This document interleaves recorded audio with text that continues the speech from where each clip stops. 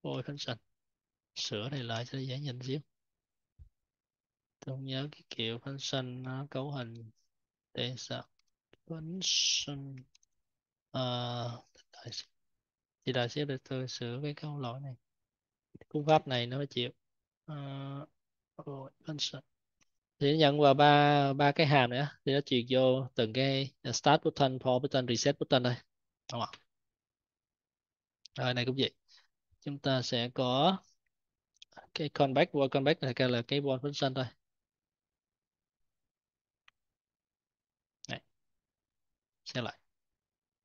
Đúng không thì đây chúng ta truyền vô cái hàm xử lý đó, hàm xử lý sự kiện à, hàm xử lý à, sự kiện cho. Khi ta nhấn cái tab này ta sẽ gọi cái hàm on address này thôi đúng không ạ?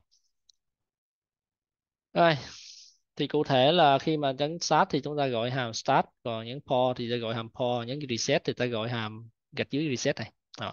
thì ta có cái start ha start thì nếu mà đây là cái ờ, uh, start thì chúng ta sẽ xét là uh, cái start thì có hai cái trường hợp đó. nếu mà trạng thái là initial thì chúng ta chỉ là start timer thôi còn nếu mà nó trạng thái là pause uh, ờ, thì chúng ta sẽ unpause đó này unpause timer trong phòng start timer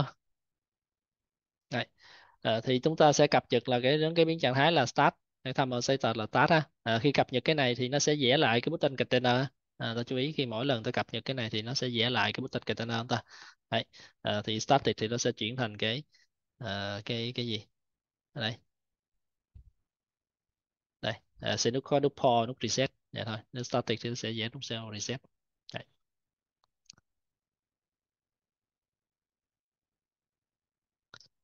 Rồi ờ, start thì đồng thời tao sẽ là ờ, bắt đầu cái ờ, cái stream á ờ, cái cái đồng hồ ta à, ta sẽ bắt đầu điểm cái uh, cho kích hoạt cái uh, cái cái cái stream á uh, cái stream đồng hồ của ta đó. Đấy, nó cái tích nè. Đấy, chị mặc định sẽ là 10 duration đây. Đây mà, 10 giây. Đấy. thì mỗi lần nó sinh ra giá trị cái stream nó cho trả về cái giá trị thì chúng ta sẽ thay đổi cái time lapse thôi. Đúng không? đây sẽ stay time lapse này. Đấy time khi time lapse thay đổi thì cái chỗ này nó ảnh hưởng đến cái uh, time à, cái uh, thôi không ạ? Cái time viget này nó sẽ vẽ lại cái time viget à đúng không ạ? Đấy, nó vẽ lại cái này. Nhưng mỗi lần time lapse nó thay đổi thì nó vẽ lại cái này. Rồi ở trong trường hợp mà cái cái stream nó xong mà cái stream nó xong nó ra đủ 10 giá trị đó đủ cái cái khoản giá trị nó sinh ra hết rồi thì chúng ta sẽ tham tham ở ta, ta chuyển thành finish. Finish thì cái này nó sẽ ảnh hưởng đến cái button container không ạ? Là khi trường hợp là finish thì nó sẽ dễ ra cái reset button. Đúng không ạ? À, reset button. Vậy nè, đó là cái start ha. À, start timer. Rồi trong còn onboard timer thì chúng ta chỉ thay đổi cái uh, timer setter thôi bằng uh, bằng started. Rồi sau đó thì ta resume lại cái uh, cái cái stream. À, ta thì ta pause cái stream nhưng mà nó sẽ resume lại cái Ờ, uh, ta lắng nghe lại cái cái cái cái cái, cái stream á cái stream giá trị nghĩa sinh giá trị thì ta hãy là uh, vẽ lại cái uh, cái dáng giao diện ta đây. đây rồi trong hợp pause thì chúng ta sẽ là uh, dừng cái stream dừng cái stream à, ta cho cái stream đừng có sinh kết quả nữa đây. sau đó ta cập nhật lại cái timer status là pause Đấy trong vòng reset thì chúng ta sẽ là không lắng nghe cái stream nữa ta cancel cái stream. Cancel cái stream. Đấy. và đồng thời ta set lại cái à, cái timer left và timer status. À, ta chỉ cần thay đổi biến trạng thái này thôi. Thì nó sẽ dễ là cái giao diện cho chúng ta. Đúng không ạ? Thì cho cái, cái logic là chúng ta nghĩ đến cái cách thay, thay đổi cái biến trạng thái như nào đó. Anh chị chú ý là cái logic của chúng ta đó đây là logic xử lý nè. Nó không liên quan gì đến cái UI gì nữa cả à, chị thấy không ạ chúng ta sẽ không có liên quan cái gì mà ta chỉ là liên nghĩ đến cái cách ta thay đổi biến trạng thái như thế nào thôi. Chị dùng ạ. Đây nè cái biến logic cái những cái cái cái này nè. À, khi những cái hàm xử lý sự kiện nè. Đấy. chúng ta sẽ không có nghĩ đến là sẽ thay đổi cái UI như thế nào nữa chúng ta chỉ nghĩ đến là cái cách cái biến trạng thái nó thay đổi như nào thôi. Đúng không? ta thay đổi cái biến trạng thái nào thôi. À, đấy là nguyên nguyên cái cái cái hàm xử lý sự kiện này những cái hàm xử lý sự kiện chúng ta đây. Đấy thì nó không có nào liên quan cái widget gì cả không ạ nó không có ảnh hưởng nó không có tham chiếu đến cái widget là gì ta chỉnh cái widget này thành cái màu này hay là chỉnh cái widget này ờ, thành cái nút chỉnh cái bút tranh container thành cái nút gì cả hoặc nó không có thay đổi cái bút tranh container ta chỉ cần là thay đổi cái biến trạng thái thôi. Anh tin không ạ? Đấy. ở đây để minh họa cái cái ờ, cái cái, cái dạng ờ, cái trạng thái này ha Đấy không ạ? Cái xử lý xử lý cái sự, sự kiện chúng ta chỉ liên quan đến cái việc là thay đổi cái biến trạng thái nào thôi đúng không ta sẽ là với sự kiện này khi người dùng tab cái này là thì cái biến trạng thái nào sẽ thay đổi? À, cái biến trạng thái nào sẽ thay đổi? Đấy à, vậy dung à. à chúng ta chỉ nghĩ đến cái việc là thay đổi biến trạng thái nào thôi. Còn cái logic để start stop cái cái cái cái stream thì chúng ta có thể là ừ, ta bỏ qua cũng được. Nhưng mà cái ý nghĩa chỗ này ta chỉ nhấn mạnh chỗ này là à, những cái hàm xử lý sự kiện lúc này thì chúng ta chỉ là nghĩ đến cách là thay đổi biến trạng thái như nào thôi à, thì cái biến trạng thái này thay đổi tự động cái UI nó sẽ cập nhật á tại vì chúng ta đã khai báo những cái trong cái trong cái hàm build của widget là với trạng thái này ta làm cái gì vẽ cái gì với trạng thái này ta vẽ cái gì giống như là à, với trạng thái initial ta sẽ vẽ ra cái start button à, còn với trạng thái thấy tập thì ta vẽ này Đấy. và khi nào cái biến trạng thái thay đổi thì tự động nó sẽ vẽ lại chúng ta Đấy, cái framework nó sẽ vẽ lại chúng ta anh chị chung ạ à. à. thì này nhấn mạnh cái chỗ là cái cái, cái cách hoạt động như vậy á rồi thì tại vì ờ, chúng ta thấy là tôi tách uh, cái uh, cái uh, cái trang diện thành nhiều cái widget thành nhiều cái lớp widget khác nhau ạ à. này tôi thấy tách ra bên ngoài một cái file luôn cũng được nhưng mà để đây tôi để trong đây tại nó cũng cũng một số ít thôi Đấy. thì ta thấy là uh, cái widget này nó sử dụng cái biến trạng thái này do đó tôi cần phải truyền á truyền cái biến trạng thái nó vô à, nó dùng cái type widget nó cần hiển thị chẳng cần cái chuỗi để nó hiển thị cái cái chuỗi thời gian để hiển thị ra đúng không? thì cần gì tôi truyền vô đó thôi đúng không? ở à, bức tranh container thì nó à, nó cần cái thăm ở tờ để nó vẽ ra những cái nút cấu hình hoặc ta truyền vô à, còn bức tranh container cũng cần thêm cái à, cái hàm bắt sự kiện start pause reset thì ta truyền vô luôn đúng không? ta truyền vô luôn ở dưới này thì cái thăm ở cái cái thăm tag widget thì nó ta nhận chuyện vô cái gì thì nó hiển thị ra cái đó thôi tag đâu ạ còn cái bức container này à, thì tôi mới nói rồi đó tùy vào trạng thái của tế tệt mà nó sẽ vẽ ra cái gì đó. Rồi, đó là cái logic đó. Đây. Đây. Để ta chạy thử cái ứng dụng này thì tôi sẽ biên dịch đó. đây là dự án ờ, cũ bởi vì nó nó nó combine lâu nó setup hơi lâu chứ là cái dự án mới nó cầm bài rất nhanh ha.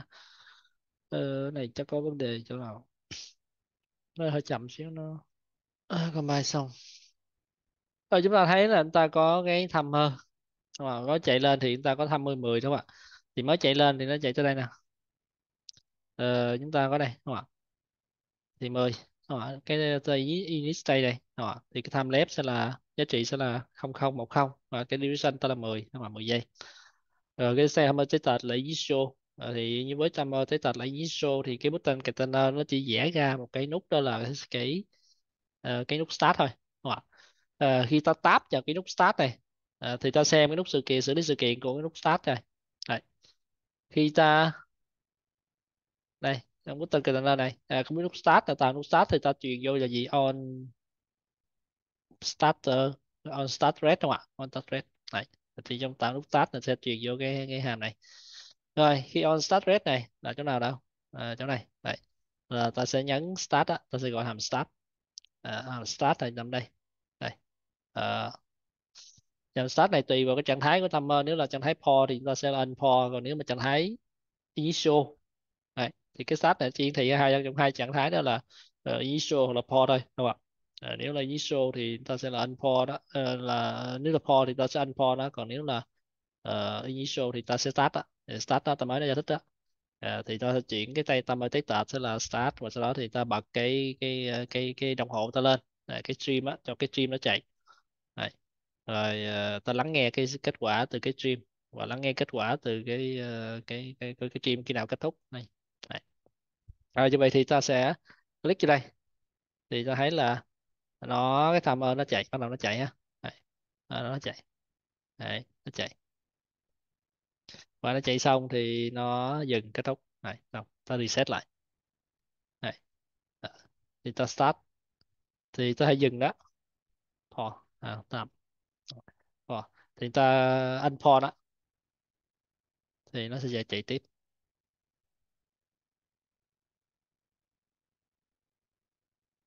Đấy. được không? thì thì cái này chúng ta uh, quản lý trạng thái bằng sysday đó sysday á. Là dùng sysday là dùng sysday dùng sysday để quản lý trạng thái. Coi reset này đợi xíu tôi ghi cái lock này ra ha.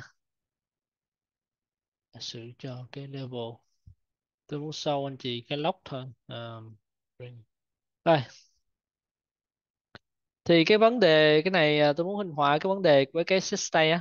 Này sysday thì cái hệ thống ờ, cái ứng dụng này ta viết ờ, hoàn toàn bằng sysday quản lý trạng thái. Ta ta quản lý trạng thái bằng sysday không ạ? Ờ, ta có hai định nghĩa hai cái biến trạng thái trong cái stateful reget này không ạ? Và mỗi lần ta cần thay thay đổi giá trị của nó thì chúng ta sẽ đặt cho một cái sysday không ạ? À, à, để cho cái ờ, cái cái cái framework nó vẽ lại cái giao diện ta dùng với trạng thái mới đây thì cái vấn đề ở đây đó đó là chúng ta thấy là mỗi lần cái set tay á, thì cái phạm vi nó sẽ là toàn bộ cái stateful widget á, toàn bộ cái stateful widget á tức là nguyên cái trang giao diện ta định nghĩa đây, nguyên cái trang giao diện ta là sẽ, nó sẽ vẽ lại hết Đấy. cái timer tree này nó sẽ vẽ lại hết hết Đấy. Đó.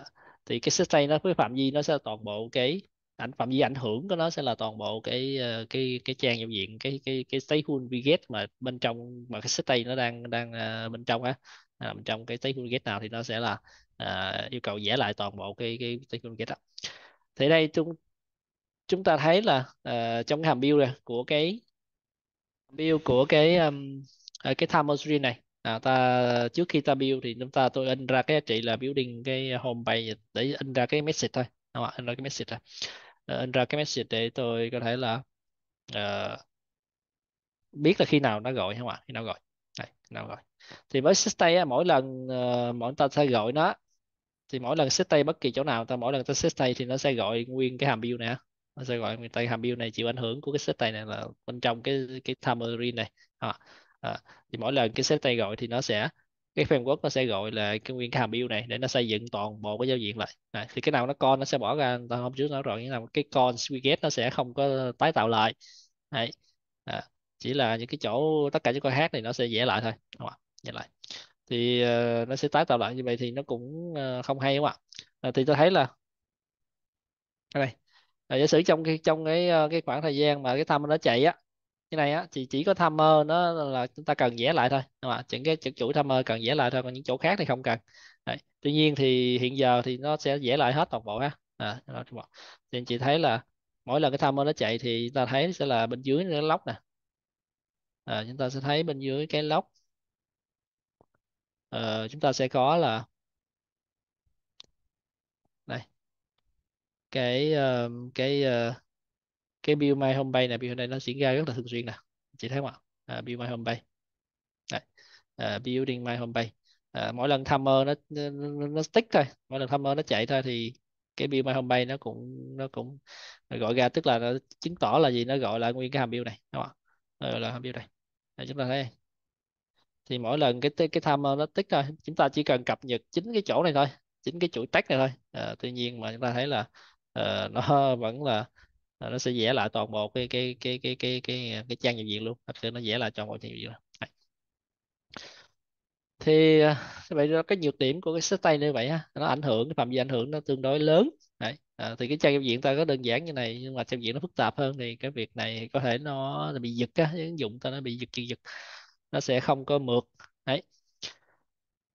Thì à, thật ra nhiều người không thích dùng chỉ, chỉ dùng xếp tay thôi cũng được á. À, cũng được thôi. À, ta dùng xếp tay như này cũng được. À, nhưng mà sẽ có một cái cách khác một số cái cách uh, giải quyết giải quản lý trạng thái khác á, thì nó sẽ giúp ta uh, tôi sẽ giới thiệu trong cái cái cái cái, cái, cái, phần này ha. Rồi thì chúng ta sẽ uh, giải quyết cái cách khác thay dùng dùng cái set tay à, thì chúng ta sẽ có cái cách để chúng ta chỉ là chỗ nào thay đổi thì chúng ta mới sửa lại thôi. Cái chỗ nào thay đổi thì nó mới vẽ lại thôi. À, nó mới cần cập nhật thôi. Còn những cái chỗ khác thì thôi không cần. À, nó không không cần phải gọi nguyên cái hàm build này. Làm gì? Đúng không ạ? À, thì thay vì thay vì dùng set state thì chúng ta có thể dùng một cái gọi là uh, cái value notifier value notifier. Đấy. À, thay vì dùng cái set state như này à, thì chúng ta sẽ định nghĩa cái biến trạng thái của ta trong cái dạng là một cái uh, value notifier value notifier Đấy. Đấy. Đấy. thì chúng ta sẽ định nghĩa cái biến ta cái biến trạng thái đó cái biến trạng thái chúng ta cần quan tâm á trong hợp này là hai cái biến này á này biến này à, dưới dạng không phải cái kiểu string và kiểu time ờ, tích thông thường mà dưới dạng một cái, cái giá trị gọi là cái value notifier là cái biến dữ liệu mà nó có thể là notify chỗ những cái những cái giao diện thôi. À, cái cái tên này là gì đó. À, value notifier là khi cái biến giá trị cái biến nó thay đổi thì nó thể notify được những cái chỗ nào trên cái giao diện có sử dụng cái biến đó. À, thì cái này là một cái giải pháp uh, dùng để quản lý trạng thái không? À, ta cũng thường cũng thường sử dụng trong letter ha. À, thay vì dùng set state thì ta dùng cái này. À, với cái này thì chúng ta sẽ định nghĩa những cái biến trạng thái một cách riêng lẻ những cái biến nào đó cần đó thì ta định nghĩa là một cái value notifier Đấy. và trên giao diện ta sẽ gì sử dụng cái biến này. À, và mỗi lần cái biến này thay đổi thì nó sẽ báo hiệu cái chỉ cái chỗ nào sử dụng thì nó mới uh, uh, sửa đổi này Đấy. À, như vậy thì chỗ này chúng ta sửa lại như này. À, chúng ta không dùng cái biến string như này mà chúng ta sẽ dùng là à, một cái value notifier à, kiểu string. Không ạ? Để giá trị nó kiểu string. Đấy tương tự ở đây chúng ta sẽ set một cái sử dụng một cái value notifier nữa Đấy. À, cho cái timer status Đấy. vì thay vì dùng cái value notifier ờ, thì cái, cái, cái, cái kiểu string thông thường thì ta sẽ dùng cái value notifier bao lại thôi đúng không ạ thì với cái value notifier ờ, đó À, thì để truy xuất giá trị cái chuỗi này hoặc là cái timer status này thì chúng ta sẽ dùng cái là chấm value thì cái này nhắc là anh chị nào học ờ, học phát triển dụng web không biết anh chị còn nhớ không ạ? À, chúng ta học Vue.js không ạ. À, thì chúng ta định nghĩa cái biến trạng thái á thì cái biến trạng thái với rep không ạ thì nó cũng sẽ là chấm value này không ạ? Thì cái này cũng tương tự nha cái này chính là cái rep trong Vue.js nếu anh chị nào có học ờ, phát triển dụng web á. Thì cái này nó cùng một cái cái cái cái cái triết lý phát triển ờ, cái UI thôi à, thì anh chị dùng ta đã học phát triển dùng web rồi thì ta hãy liên hệ qua. Còn nếu anh chị nào chưa học thì chúng ta cũng uh, hình dung là cái biến này có thể là thay đổi khi nào thay đổi giá trị thì có thể notify thôi. Đấy. thì mỗi lần chúng ta gán giá trị của nó nè à, là nó sẽ notify những cái chỗ nào có sử dụng uh, trên giao diện nó có sử dụng á. À, có sử dụng đó. Đấy. À, thì như vậy thì tôi cái bằng chi sức này mọi ta set giá trị nó thì ta chấm với liên cái. À, chấm với liên thì nó set giá trị đó. À, và cái việc set này nó sẽ notify Ờ, thì báo hiệu cho sự thay đổi cho những cái chỗ nào cần lắng nghe có lắng nghe cái sự thay đổi của cái lắng nghe những cái biến này. Đấy, thì họ ta sẽ nói sao? Thì giờ thì nó chưa ai lắng nghe cả thì ta xét thông thường thì bình thường thôi. À, nó không sẽ không làm gì cả. À, chỉ đổi giá trị của nó thôi đúng không ạ? Tại chưa có ai lắng nghe cả thì nó sẽ không có làm gì nó không có báo hiệu ai cả. À, là chỉ thay đổi giá trị nó thôi. Đấy. tương tự mấy dưới này thì muốn đọc ra thì chúng ta cũng là, là chấm value. Đấy. À, này cũng vậy tương tự là uh, data chấm value. Này. Uh, chấm value. Thì cái này chúng ta không cần phải set tay nữa. Chúng ta chỉ cần là chấm value thì tự động nó sẽ là báo hiệu được cái GUI rồi. Chỗ nào lắng nghe ta không cần phải set tay nữa. À, lúc này chúng ta sẽ không cần dùng set tay à, vì sao? Thì chúng ta mỗi lần ta dùng set tay thì chúng ta thấy là nó sẽ nó sẽ build lại toàn bộ cái giao diện cái đó thì trong hợp này chúng ta sẽ là chấm value thôi cái này cũng tương tự. Thì chúng ta sẽ không có dùng, cần dùng state nữa, chúng ta chỉ cần là chấm value.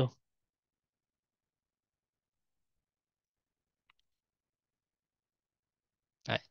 tương tự chỗ này, chúng ta không có dùng state nữa, mà chúng ta sẽ dùng chấm value. Tự chấm value.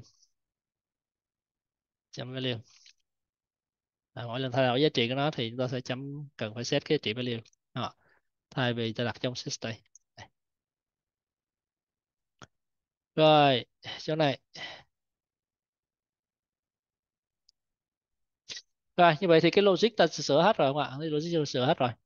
Đó. thì ta sẽ dùng cái value notifier mỗi lần ta thay đổi giá trị tức là chấm value thay đổi giá trị của nó ta đọc ra thì bình thường nhưng mà ta thay đổi giá trị này thì nó sẽ có thể khả năng là báo hiệu những cái chỗ nào nó trong cái UI cái giao diện người dùng cái widget á cái chỗ nào nó cần thì có thể là được báo hiệu. Rồi làm thế nào mà trên UI có thể lắng nghe được cái cái sự thay đổi giá trị đây? À, thì um, chúng ta muốn nó hay lắng nghe được á trên UI á tức là mỗi lần cái biến nó thay đổi á thì uh, cái UI nó thay đổi theo cự cập nhật á thì chúng ta sẽ à, dùng cái widget một cái widget đó là ta sẽ wrap cái widget này lại. À, cái này nó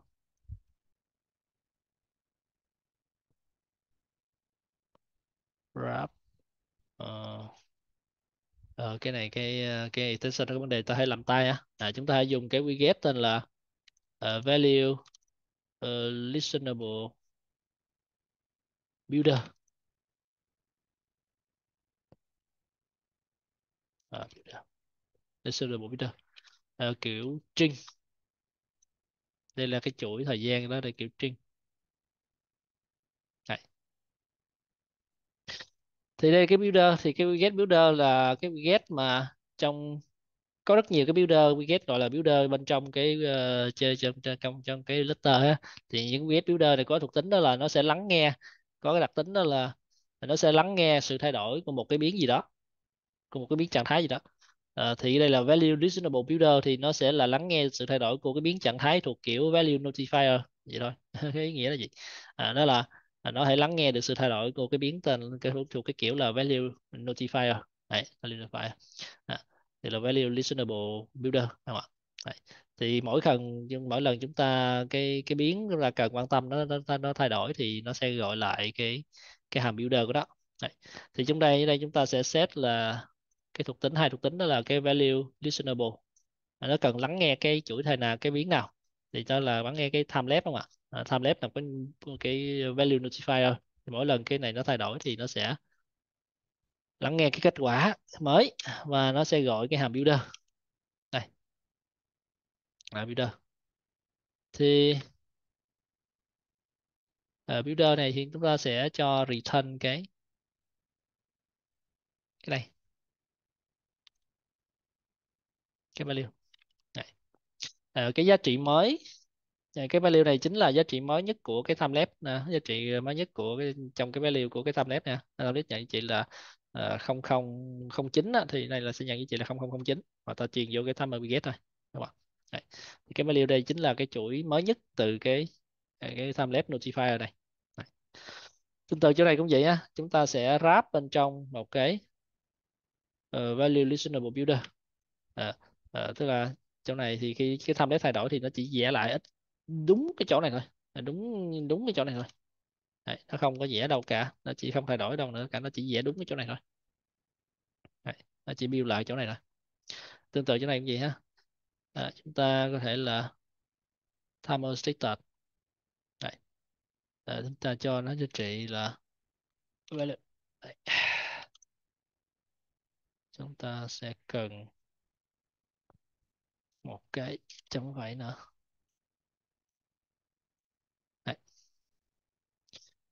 đây đây thì chúng ta có cái value listener builder timer lắng nghe cái sự thay đổi của cái biến value notifier đó là timer mỗi lần cái biến này nó thay đổi giá trị chấm value chấm bằng ghé giá trị cho cái biến này chấm value không ạ? Thì nó sẽ gọi cái builder lại. Đấy, truyền giá trị mới. Timer status vào. Đây. Rồi uh, thì chúng ta thay đổi như vậy thôi không ạ? Chỉ cần thay đổi như vậy thôi. Uh, chúng ta uh, refresh lại. Chúng ta sẽ thấy uh, comment kệ đi. Uh, reset lại này chúng ta phải set sở khởi tạo giá trị của nó ha. Với notifier đây là object cho đó thì ta phải khởi tạo giá trị của nó thì ta mới uh, set giá trị của nó được. Đấy. chúng ta sẽ là khởi tạo giá trị nó sẽ là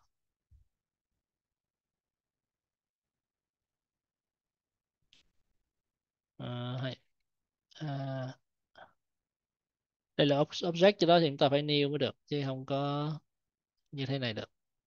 Chúng ta sẽ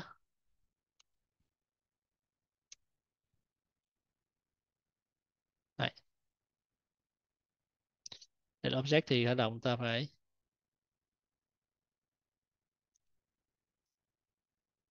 Đấy. tạo cái object. Với giá trị ban đầu đó là cái duration chấm to time string đây.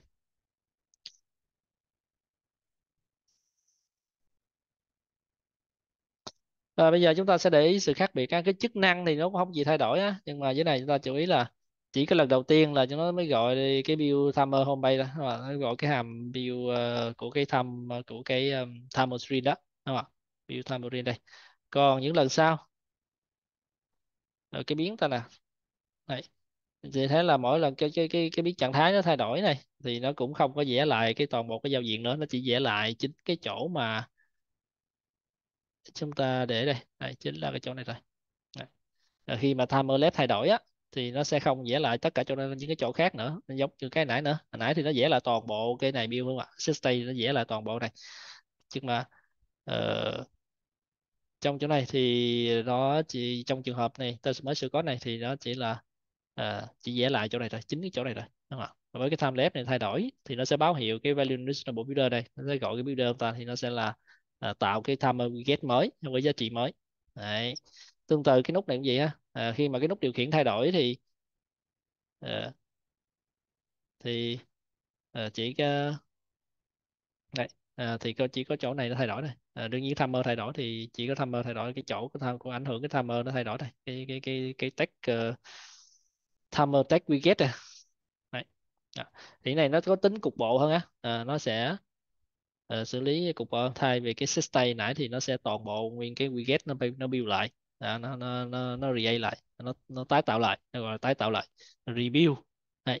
còn chỗ này thì nó chỉ review đúng cái chỗ mà ta dùng cái đúng cái chỗ nào mà nó có sử dụng cái biến nó đã thay đổi thôi nó, nó được bị thay đổi đó nên là timer left nên khi timer thay đổi thì nó sẽ build lại đúng cái chỗ này thôi à, tương tự khi timer thấy tạo thay đổi thì nó sẽ build lại đúng cái chỗ này thôi Đấy, được không? Đấy. thì lúc này à, chúng ta sẽ không cần à, cái này nữa à, không cần phải uh, có thể không cần sử dụng tay nữa không ạ? Đấy. rồi. Thì cái này chúng ta cũng uh, cũng nếu mà anh chị có liên có có thể là uh, cũng là liên hệ đến cái môn phát triển dùng web nữa à, nếu anh chị nào có học rồi đó. Thì cái biến validify này à, chúng ta hãy tách ra bên ngoài cái lớp này luôn ha. À, chúng ta hãy định tách ra bên ngoài cái lớp này luôn và thông thường người ta sẽ tách ra bên ngoài luôn thay vì để trong đây. Để trong đây thì à, cái này chúng ta thuộc cái timer này là thuộc cái layer widget á thuộc cái layer widget. Và hiện giờ nãy giờ đó chúng ta có mix những cái biến quản lý trạng thái những cái biến trạng thái này bên trong này. À, thì cái dụng này thật ra nó có rất đơn giản nhưng mà à, do đó thì cái việc người ta gắn vào bên trong trực tiếp này thì cũng không có gì ờ, cũng tạm chấp nhận được đi. Nhưng mà nếu mà cái trang giao diện nó phức tạp hơn mà ta có rất nhiều cái biến trạng thái khác mà ta để bên trong đây đó thì cái logic xử lý lại sẽ là hơi bị rối á sẽ rối rất nhiều khá rối. Đấy. À, do đó thì thay vì để bên đây bên đây chúng ta sẽ để ra bên ngoài. À, chúng ta hãy tách ra bên ngoài. Đấy. Do lúc này chúng ta sẽ không còn không có cần cái dùng set stay nữa do đó cái này chúng ta tách ra rất dễ ta để cái bên ngoài rất là dễ ha. Đấy. do đó chỗ này chúng ta hãy tách toàn bộ cái logic. Này ra bên ngoài. À, ra bên ngoài. À, toàn bộ cái logic xử lý nè. À, ra bên ngoài cái get ta ra khỏi cái get ta. Đấy. À, như vậy thì chúng ta nãy giờ chúng ta chưa có nói đến cái chỗ uh, cái này đó. Đấy. nãy tôi nói đến cái cái cái ờ, layer code đó, đó thì nãy giờ tôi chỉ làm cái UI layer thôi đúng không ạ layer trong cái lớp widget đó thôi không ạ à, à, thì bây giờ chúng ta sẽ tách ra cái lớp quản lý trạng thái những cái biến trạng thái ta sẽ để ra bên ngoài ta sẽ không để trong cái UI nữa ta sẽ tách ra bên ngoài à, tách bên ngoài Đấy. Thì chúng ta tách được là chúng ta chúng ta không còn dùng set state nữa. Lúc này chúng ta chỉ dùng những cái biến như là value notifier thôi đúng không ạ? Thì chúng ta hãy tách ra bên ngoài được. À, tách ra ngoài được. Còn nếu mà set state thì chúng ta không thể tách bên ngoài được không ạ? Tại vì tách bên ngoài thì chúng ta đâu thể gọi hàm set state được đúng không ạ? Hàm set state chỉ có bên bên trong cái cái cái tham ờ, cái cái string state này thôi. Trong cái lớp state này thôi. À, thì chúng ta mới có cái set state thôi. Đấy. À, thì cái cái lợi điểm đó là thứ nhất đó là chúng ta hãy là build cục bộ nếu mà ta không dùng set state ta dùng cái Validify là chúng ta hãy là build cục bộ. Đấy. và cái lợi điểm thứ hai đó là giúp ta dễ dàng ta tách ra bên ngoài ha. Ta đẩy cái code ta ra bên ngoài. Thay vì nằm bên trong cái widget này nữa. Mà ta sẽ đẩy ra bên ngoài. Thì bây giờ chúng ta sẽ đẩy cái viên bên ngoài á. Ta sẽ có một cái ví dụ để ta đẩy cái bên ngoài. À, ta tiếp tục làm ví dụ này á. Nhưng mà ta sẽ đẩy cái code ra bên ngoài. Rồi. Chúng ta sẽ tách cái à, những cái logic trạng thái xử lý trạng thái ra bên ngoài cái lớp ta để cho thấy rất là gọn hơn xíu ha. Đấy. thì chúng ta trong cái ta sẽ tạo thêm một cái lớp nữa đó là à, tên gọi là timer screen manager. À, controller tùy có nhiều tên ha. À, thì có thể là controller manager hay là view model hay là qubit hay lock tùy vào cái cái ờ, cái giải pháp ở trạng thái này chúng ta không có dùng cái thư viện gì cả tôi nói rồi gọi là dùng cái manager Đấy. thì cái chỗ này có rất nhiều tên đó tại vì có rất nhiều cái thư viện và giúp ta quản lý trạng thái uh, nhưng mà chúng ta chúng ta không có sử dụng ta chỉ dùng cái đơn giản là chúng ta dùng cái nó có sẵn trong letter thôi à, chúng ta không dùng thư viện nào cả Đấy. do đó thì uh, cái này anh chị đặt tên gì cũng được á nhưng mà anh chị sẽ đọc nếu mà anh chị xem cái tài liệu tham khảo hay là những cái uh, hướng dẫn uh, trên cái document hoặc là trên uh, cái tutorial này nọ đó, thì ở chỗ này nó sẽ có rất nhiều cái tên gọi khác nhau. Đấy. nhưng mà cái ý tưởng chung là gì á chúng ta sẽ là những cái cái lớp này là sẽ định nghĩa những cái biến trạng thái ta. Thay vì chúng ta định nghĩa bên trong cái widget trong widget ta sẽ đẩy nó bên ngoài để cho nó gọn hơn. Cái widget nó chỉ liên quan đến xây dựng cái giao diện thôi chúng ta sẽ tạo cái layout thôi. Hồi nãy giờ chúng ta viết code đây nó hơi rườm rà nó hơi dài dòng trong cái widget á à, ta không nên như này trong hợp này trường hợp này cái cái, cái giao cái giao diện nó đơn giản nó có hai cái biến trạng thái thôi mà nó nói tóm lại thì nó cũng cơ bản nó có hai biến trạng thái cơ bản này thôi. Đấy. thì cái việc này thì có thể chấp nhận được nhưng mà uh, nếu mà cái trang giao diện nó phức tạp hơn thì cái cái chúng ta nên đẩy nó ra, ra bên ngoài ha để cho cái widget nó nhiệm vụ chủ yếu là chúng ta tạo cái layout thôi. Ta suy nghĩ cái cách nó tạo layout như này à, nó tính là cái chỗ này thôi. Đấy, rồi chính cái đó thôi. Đó thì chúng ta sẽ đẩy cái này ra ngoài này gọi là cái time stream manager đấy. À, thì chúng ta sẽ à, định nghĩa cái lớp đó là time screen manager. Đặt tên gì cũng được hết tùy chị nhé. Đấy. rồi. Rồi ta sẽ copy ra à, ờ, giờ thì ta copy mấy này qua thôi. À, chúng ta sẽ copy uh, nguyên cái này. Copy ra. Rồi tiếp tục ta sẽ copy.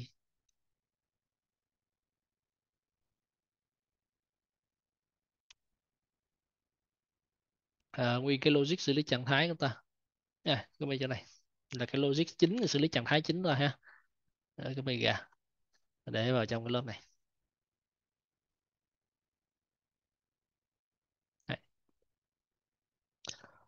Ở đây thì chúng ta sẽ sửa lại xíu ha. Chúng ta có